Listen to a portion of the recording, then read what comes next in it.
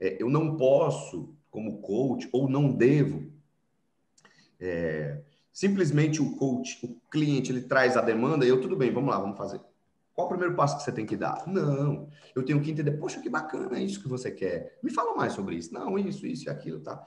É, por que, que isso é importante para você? O que, que você vai ganhar quando você conquistar isso? Quando você se pensa no futuro fazendo isso, qual a sensação que você tem? É, então, você está me dizendo que é isso mesmo que você quer fazer e tal. Então, eu preciso discutir um pouco com o coach sobre a demanda, sobre o que ele quer, o desejo dele. Desejo não é a demanda. O objetivo do cliente não necessariamente é a demanda. Tá? Então é uma questão que tem que ser resolvida. A gente tem que entender o que é que é o que é que tem, o que é que é o crítico, o que é que precisa ser trabalhado, o que é que o cliente quer ao final da sessão, entendeu? O que é que ele vai querer levar dessa sessão, o que é que ele quer que aconteça até o final dessa sessão para que seja uma sessão nota 10.